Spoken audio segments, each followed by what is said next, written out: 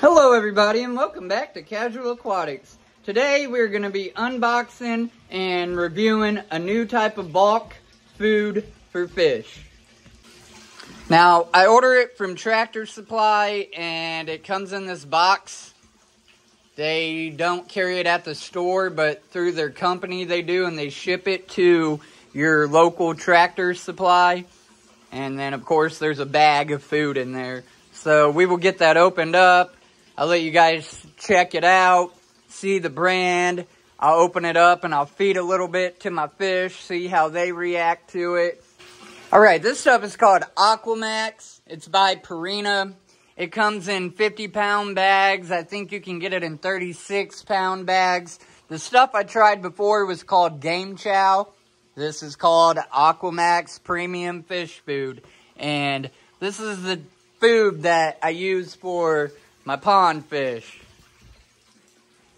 And the last stuff was pretty good. They seemed to like it. But near the end, it seemed like they were just getting burnt out on it.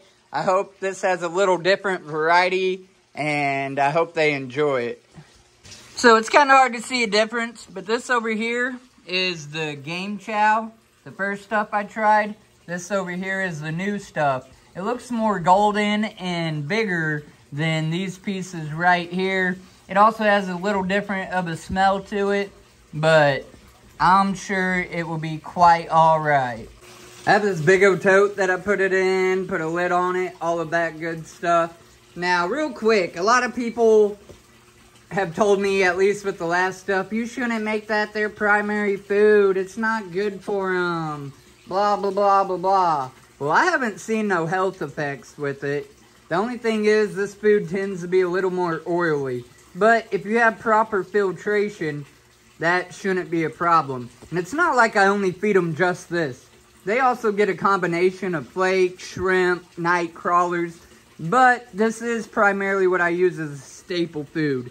This one bag will last three months feeding my fish. So, to me, it's well worth it. Now, if I see any kind of ill effects, I'll definitely stop using it. I don't want to harm my fish in no way. But I'm sure there's going to be those people that do watch this and they think that very way. And that's okay, man. Put, them, put it in the comments and I will reply or whatever. To each their own. I'm just trying to help people find an easier, cheaper way to feed their fish in bulk. Without further ado, here goes nothing.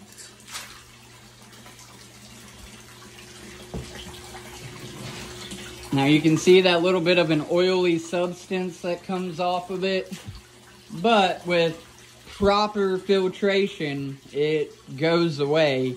And this thing is like over filtered. I got my trash can filter, I got my dye sump I made, I got my internal pond filter, and then I got this power head over here that's buried. But that's what is creating this motion right here. So everything's being cycled and then I also got my little cage down there that's catching debris and stuff like that. And believe it or not, I feed this tank the same stuff. What's up guys? Dad's got a new type of food.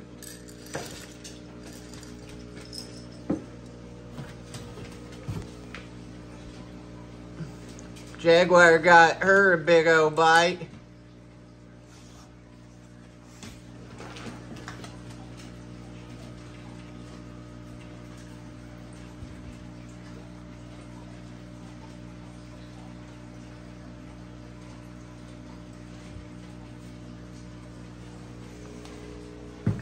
Sadly, I still haven't really got him to eat any, but it'd be really cool if he did.